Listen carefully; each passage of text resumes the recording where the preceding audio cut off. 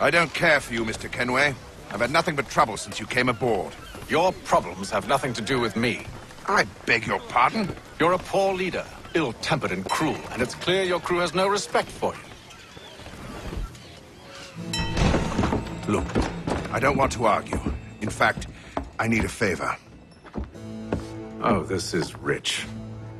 I suspect some of the men intend to mutiny. Really? What a surprise. As I cannot trust any of them, I am compelled to turn to you. And why should I help you? Because if they do intend to betray, I'm the only hope you have of reaching America alive. Well, what will it be? If what you say is true, what other choice do I have? Thank you. But let me be clear. Should you ever dare to insult or threaten me again, I'll not hesitate but to cut off your head myself. Are we understood? Excellent.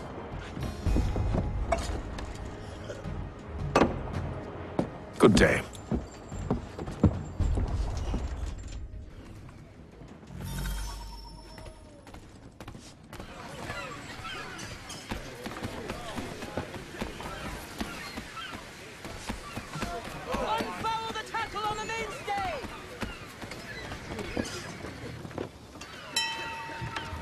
Hello, sir.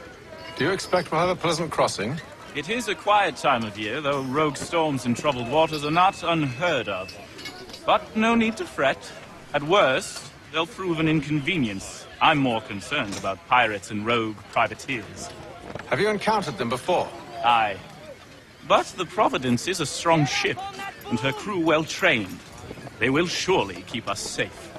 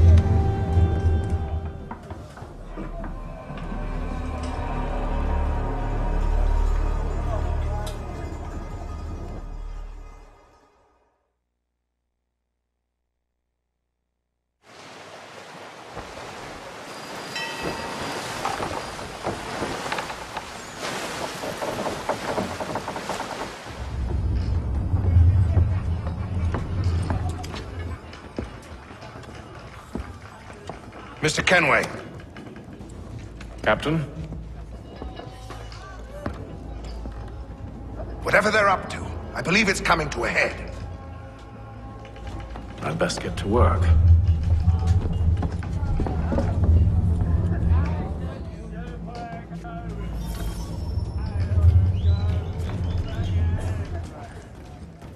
He's cut our rations again. Claims we're not provisioned for such luxuries. Well now be quiet! Here he comes. Make like you're working.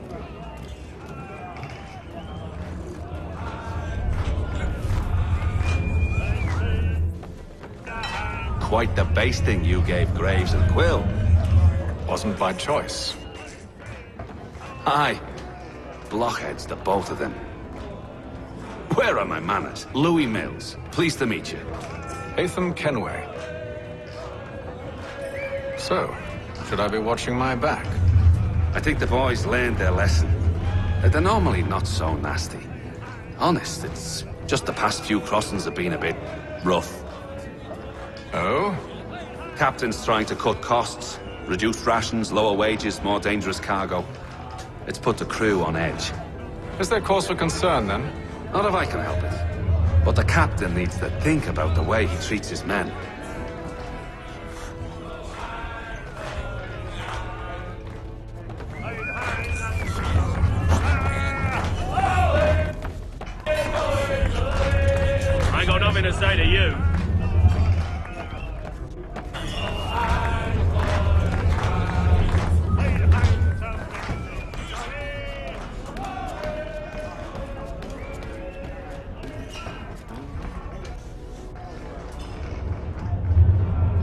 Looking for another fight?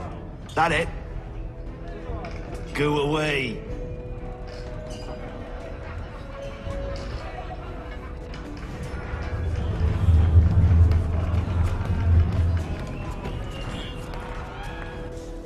You there!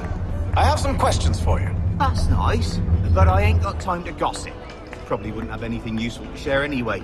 You want information? Try the cook or the doctor. Everyone's always chatting them up.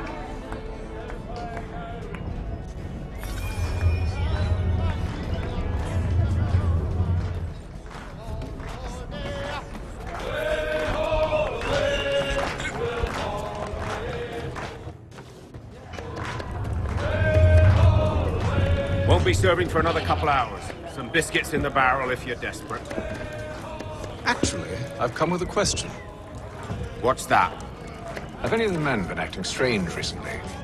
Said anything that struck you as out of the ordinary? The boys cry about the rations, as if there's anything I can do about it. But beyond that, I ain't heard much. My advice? Go find James. His ears are always open. And where might I find him? Right behind you, actually. He's the one sitting on the barrel.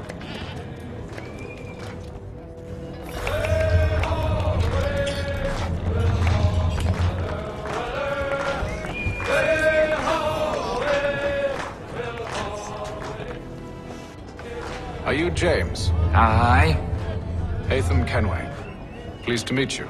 I know who you are. I was hoping you could answer some questions. I figured as much, but not here. Follow me. So, what do you want to know? Have you seen or heard anything out of the ordinary since we left port? Anything that gives cause for concern? Some of the men have been gathering at night on the upper deck. I've only caught bits of their conversations, so I couldn't say for certain what they're up to. But I suspect it bodes ill. Is it a mutiny they're planning? All I know is they've little love for the captain. Mills has been trying to talk 'em down, but there's only so much one man can do. Thank you for the information. I only wish to see us reach the colonies alive.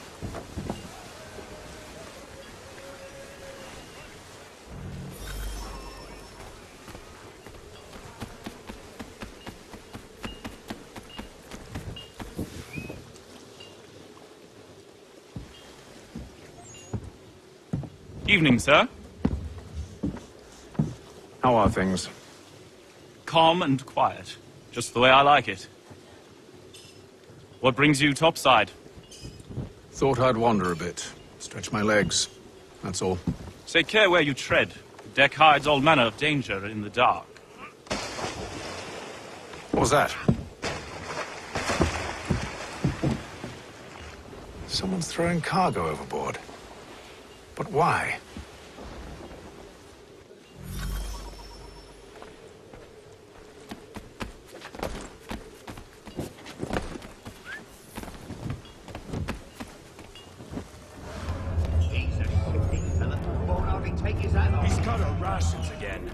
Claims we're not provisioned for such luxury. It's not right that you should feast on lamb and wine. So we're stuck on fish and biscuits.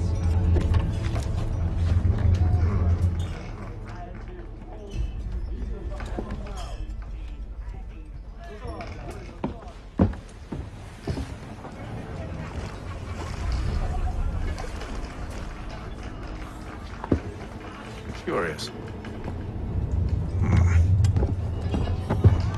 Most curious.